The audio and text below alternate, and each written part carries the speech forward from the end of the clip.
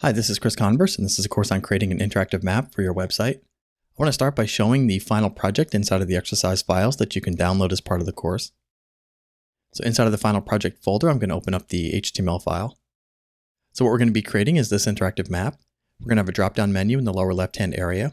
Selecting different items in the drop-down menu will change the dots that are plotted across the map. So if I come over here and select Europe, for example, any dot that is not on Europe will fade away, and only the dots that are assigned to Europe will show up. In addition, if we come over to the dots and click on them, we're going to fade the city detail information over on the right. We're going to fade it down, change the content, and then fade it back up. All of this content is going to be in this web page hidden through CSS. And as I go through the different dots, we can fade that information, change it, and bring it back up. Now to create this user experience, we're going to be using HTML, CSS, and JavaScript. We're also going to be hooking jQuery into our project to give us the ability to create a dynamic relationship between the drop-down menu and the dots and the dots and their city detail information.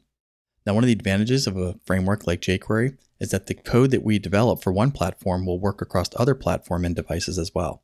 So here we are looking at the exact same user experience over in Windows 7 on IE9. And I can come in here and click on the individual dots, change the form menu, and get exactly the same user experience we were just looking at over on the Mac platform in Safari. Now, in addition to computer screens, we can also take a look at this across mobile devices. So I want to bring up an Android simulator here showing us a handheld device.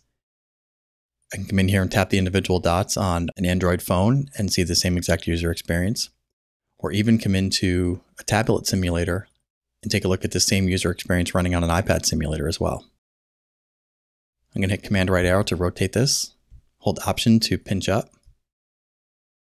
tap and move around, tap on the individual dots and see the content change here as well.